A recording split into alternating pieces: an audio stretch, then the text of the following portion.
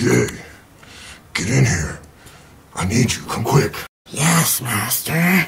Mm, how can I help you? Whoa, dude. You're not looking too good. Are you alright? I, I don't know, Master. I was up real late last night watching videos, and you know, maybe I'm just a little tired Oh my god, dude, you smell terrible. It's like a mixture of failure and confusion. Oh my god. DA, you haven't you haven't relapsed, have you? Uh, no, it's not like that, Master. It's just I'm, t- I'm t- You can't lie to the Prince of Lies. I am Lucifer, the star of the morning. Grovel, demon. Forgive me, Master. I should have never tried to lie to you, Dark One. Oh, okay, cool, bro. You know, the first step is admitting you have a problem. I'm disappointed in you, bro. That shit's gonna destroy your mind, DA. I can't believe you would bring that stuff into my house. I can accept a lot of things, but Riley Dennis, DA, Riley is a cancer on society. Look what she did to you. I know, Master. It's just the hypocrisy. I just can't get enough hypocrisy. I need it. These retards just haven't been enough for me. Riley Dennis is the hard shit, Master. She's the biggest hypocrite on the internet. She got me strong.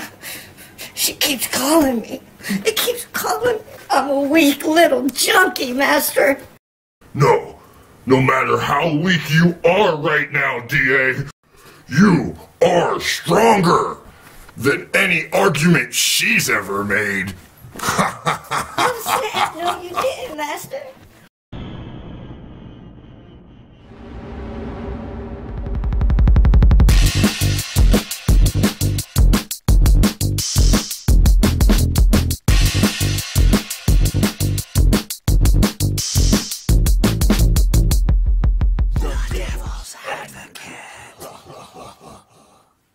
Everyone, so today I want to talk about what it means to be offended. Because depending where you are on the political spectrum, when you hear this word, there's a good chance you think of people on the left being offended. Uh, maybe that's because it's true. I mean, you're the most offended libtard I've ever seen. And this is coming from a centrist. Some people use it to mean they don't like something, others use it to mean they find something harmful or dangerous, and others use it just to mean that they're upset by something. It has different definitions that mostly seem to change depending on your politics. Uh, oh my god, are you taking the fucking piss? Seriously, are you fucking retarded? Offended has one definition, and that is resentful or annoyed, typically as a result of a perceived insult. And the key word here is perceived, and that is where personal responsibility comes in. You see, someone can insult you, but it's up to you whether or not you are offended. That is why most people will say, offense is taken, not given. It's about strong character, but you wouldn't know anything about that. So please continue with your train wreck of an English lesson. Leftists who say that offends me often mean that is dangerous and will cause a lot of harm. But right wing folks and some centrists likely hear that simply as, I don't like that. And those are very different meanings that can lead to two people having a conversation that goes nowhere because they aren't properly communicating. Yes, one person would have the correct definition and the other would, well, be you. But I don't see why you're trying to make this a political issue. It has absolutely nothing to do with politics and more with personal character. Again, something you know nothing about. Sometimes it's good and compassionate to be offended because you don't want harm to come to you or others. Other times it's just hatred or misinformation that causes people to be offended over nothing. Uh, no. It is never constructive to be offended and angry. Offense is synonymous with emotional words like anger, upset. There is nothing positive or constructive about getting upset or angry. I can't believe that you made a video called What Does Offended Really Mean? And you haven't even used the proper definition of the word. And spoilers, she never does. I think I know why, but we'll get to that in a minute. Leftists are offended by actions that are being taken to restrict the rights of queer people. People on the right are offended by the existence of queer people. They just don't call it being offended. Oh my god, are you fucking autistic? She's autistic, right? Why does your political alignment determine what you think about gay people? The fuck is this bitch talking about? What the fuck do gay people have to do with the definition of words? Try to stay on topic here. Even if you don't think you never get offended, you're probably offended by people who are easily offended. Every time I've called right wing people offended for something that they were clearly offended over, I get the same like three cookie cutter replies right back. No, I'm not offended. I just don't like that. I just have a problem with it. I just think it's dumb. Something like that. But those are all just different ways of saying that you're offended by something. Yes, those words are synonymous with offended. But why does it only apply to the right? And what the fuck do gay people have to do with this? Are you a fucking Poe? Other hand, sometimes people get offended by stuff because they're hateful or misinformed. If I say I'm a lesbian and that offends you, tough shit. Because that's me. You may be offended by my identity, but I'm allowed to be who I am. The fact that you're offended doesn't mean that anything about me has to change. It just means you need to work on not being offended by my identity. And likewise, if I tell you to vaccinate your kids and get your flu shot, and by the way, please vaccinate your kids and get your flu shot, that's going to offend anti-vaxxers. The people who believe that vaccines are harmful even though literally all of the evidence is stacked against them. Wait, wait, wait, wait, wait, wait. So, if you offend somebody, tough shit, they have to deal with it. But if you're offended by somebody, then it's their problem. You can't have it both ways, Riley. Either it's our responsibility to control our emotions, or it's other people's responsibility not to piss us off. Which one makes more sense? Seeing as how I can't control the dumb fucking shit you say, maybe I should work on myself. But that takes personal responsibility and a strong moral character. Like I said, these are things you obviously know nothing about. They're offended not because something in the world is truly doing harm, but because they're misinformed. And that's what I mean by being offended doesn't automatically make you wrong or right. No, apparently it just makes you a dumb fucking cunt. And when I say you, I mean you, Riley J. Dennis, are a dumb fucking cunt. Why do you even think anyone gives a fuck about your sexual fucking preference?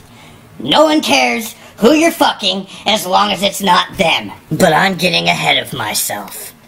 Let's switch to another one of Riley's dumb fucking videos so we can watch her butcher the English language and tell us all that our sexual preferences are built around racism or something.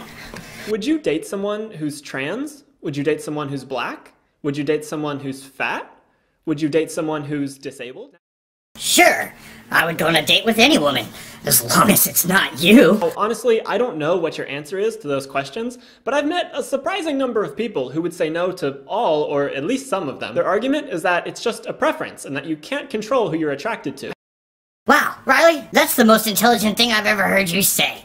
I don't know why people have such a problem with this video. Hmm, let's just keep watching. Would you date a trans person? Honestly? Think about it for a second. Okay, got your answer? Well, I don't know. I've never really thought about it before. I like to think of myself as open minded, but that might be a bit of a stretch for me. I don't know, maybe. Well, if you said no, I'm sorry, but that's pretty discriminatory. Holy fucking shit. You can't be fucking serious. Is this bitch fucking serious? The fuck, man? I think it's time to get the dictionary back out. Preference. A greater liking for one alternative over another. Huh. It's funny how that doesn't say anything about discrimination. Discriminatory. Making or showing an unfair or prejudicial distinction between different categories of people or things, especially on the grounds of race, age, or sex. Can you even fucking read, you dumb fucking cunt? Those are two entirely different fucking words. Preferences have to do with choosing over alternatives, whereas discriminatory is a prejudicial decision based on superficial qualities. I thought the fucking gay motto was I was born this way. So by your logic, as a trans fucking lesbian, you discriminate against men. You're just a fucking contradiction with tits. Next video. This video is for the people who say, yes, trans women are women, but they are still biologically male. Okay, so this video is for everyone that can read. So, what the fuck are you doing in it then? Fuck. This can't be good. Alright, so let's say that you're trying to be a good ally to trans people and you heard that sex and gender are two different things. Sex is biological and gender is a social construct. That's not entirely true. Sex and gender are two different things, but they're both partly social constructs, just in different ways. Maybe in gay tardia, but in the real fucking world, sex and gender are fucking different. I don't even know why I put this dictionary away. Okay, Merriam Webster defines sex as either of the two major forms of individuals that occur in many species and that are distinguished respectively as female or male, especially on the basis of their reproductive organs and structures. And gender is defined as the behavioral, cultural, or psychological traits typically associated with one sex. So, while gender can be considered a social construct, sex is purely a biological classification. You know, Riley, you're guilty of some major fucking word crimes.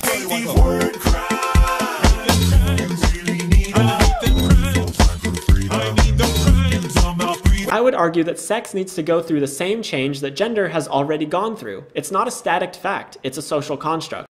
And I would argue that you need to be institutionalized. This is not a fucking bit. I'm serious. Bitch, you're fucking crazy. Just because you and your ilk are living in a fantasy world doesn't mean the rest of us have to. You know, I have a soft spot in my heart for freaks. But honey, you're pushing my fucking limits. But I'm gonna let you go just a little bit longer. You better have something. Hey, well, you can't change your chromosomes, and yeah, that's correct. But if you want to argue that sex is entirely determined by chromosomes, then you're arguing against the definition of what we call biological sex. Biological sex. Hmm. Well, a quick Google search returns a confusing mismatch of opinion pieces from places like Wikipedia and Medium.com. These are not peer reviewed and would be unacceptable as citations in a research paper. But here's the thing all of these sources refute what you just said. Even though I cannot rely on them for their accuracy or their credibility, the overwhelming consensus is that biological sex is a result of your genetic composition and sexual reproductive organs. What you are peddling, my dear fucktard, is an insult to pseudoscience. The only word that properly describes your argument is woo. Now hit me with some of that sweet, sweet tranny hypocrisy. But if a woman has her ovaries removed due to cancer, is she no longer female? If a man has his testes removed due to cancer, is he no longer male? I don't think so.